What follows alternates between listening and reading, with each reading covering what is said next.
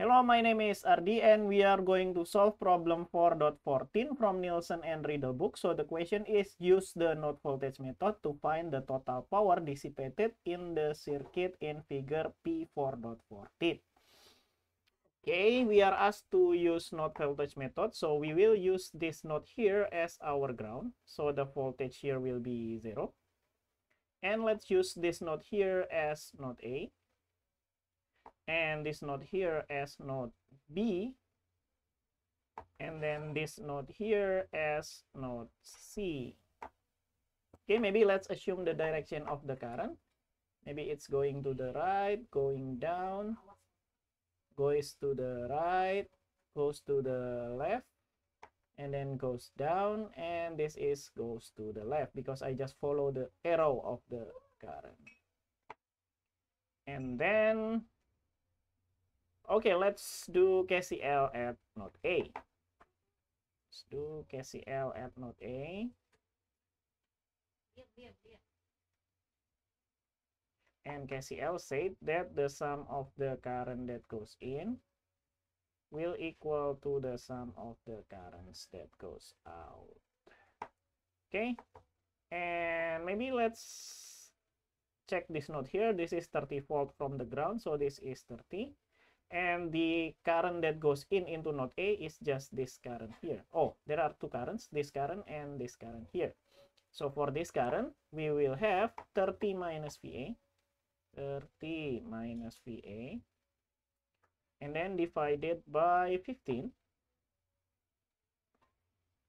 Okay, and then this current here, this current, I mean this current here is 4 ampere, so I will have plus 4 and then that will equal to this current here is going out. So I will have VA over 31.25 and then this current here is going out. So I will have plus VA minus VB divided by 25 okay maybe let's take a note here that 31.5 okay. 31.25 is equal to 125 over 4 you can try it by using calculator. And so we can replace this by 125 over 4 or we can move that 4 to the numerator. So we will have 4 VA over 125. Okay, we will have 15, 125, and 25 here. Let's multiply all the sides by 375. 375. So we can get rid all of the denominator. So we will have this one here. 375 multiplied by 30 is 375 multiplied by 30. That will be 11 to 50. So we'll have 11 to 50. And then we'll this 15 and 375 will cancel into 25. So we'll have 25 VA. And then plus 4 multiplied by 375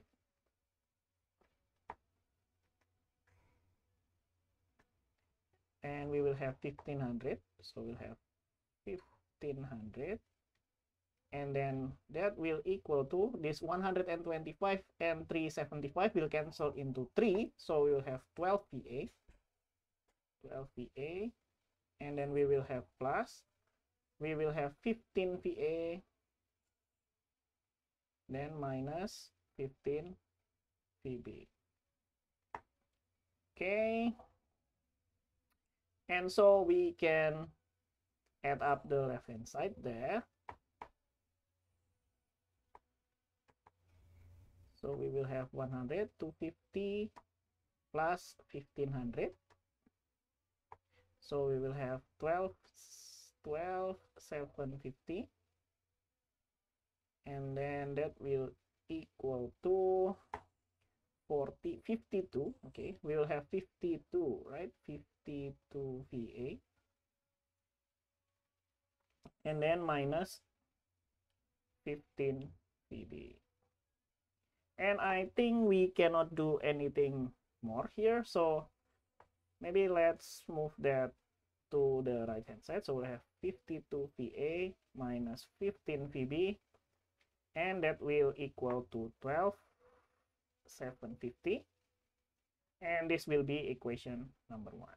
Okay, let's move on to equation number two, which is derived from KCL at node B. So we will have KCL at node B. Okay, and then KCL said that the sum of the current that goes in will equal to the sum of the currents that goes out. And so we will have the current that goes in, this one and this one. So we will have VA minus VB VA minus VB divided by 25 and then this current is going in and that will be plus 1 ampere. And that will equal to this current is going out that will be 4 and then plus we will have VB over VC divided by 50 VB minus VC divided by 50 and this time we can just multiply it by 50 okay. And what can we get from here? I think we will have 2 va and then minus 2 vb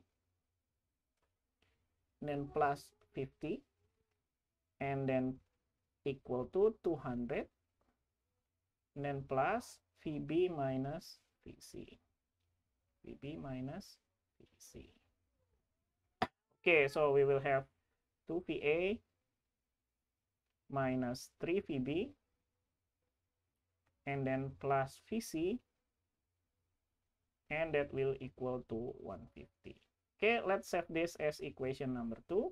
So now we uh, we have two equation with two variables. We still need one more variables. Okay, let's do exactly that.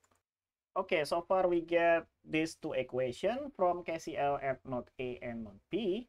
Now we still need to do another KCL, this time at node C. So let's do that, KCL at node C. And again, KCL said that the sum of the current that goes in will equal to the sum of the current that goes out. And then the current that goes in is this one here. I think this one here only this one. Okay maybe let's assume this direction of the current maybe goes to the left. So the only current that goes in is this one. So we will have VB minus VC divided by 50 okay? VB minus VC divided by 50 and that will equal to this current is going out so I will have VC minus 0 divided by 50 but then we also have this current here that goes out from node C and that value is 1 ampere. And now let's multiply both sides by 50 so we will have VB minus VC and this one will be VC and then plus 50 so we will have VB minus 2 VC divided by 50 and this is equation number 3 so we can solve uh, three equation with three variables. Let's do that with calculator so we can get VA, VB, and VC Let's do exactly that. Set up our equation as equation hover, which is number 5, and two, three variables is number 2. And let's plug the value. So I will have 52 and then minus 15 and then 0 and then 12 750 okay the second equation that will be 2 minus 3 and then PC is 1 and then that will equal to 150 and then this value of PA is 0 so I'll have 0 and then PB is 1 so I will have 1 and then minus 2 so we will have minus 2 minus minus 2 okay and then 50 okay let's solve that. Okay we will have our VA here. Maybe let's put it in red. VA is 292.5 okay that will be VA VA is 292.5 volt and then what is VB VB will be 164 volt. Okay and then what is VC VC is 57 VC is 57 volt. Okay we got all the voltage but the question is asked about power. Okay maybe let's clean up our board and let's solve that. Okay let's find out the total power dissipated. Total power dissipated remember that the power is equal to v squared over r right? So the first thing is this 15 ohm resistor okay? The power dissipated will be all of the resistor right? So let's do p total. P total let's start from that 15 ohm resistor the voltage is 30 minus VA. So we will have 30 minus VA. And then that will be need to be squared divided by 15, right? That is from this resistor. And now let's focus on this resistor here, which is VA minus VB squared divided by 25.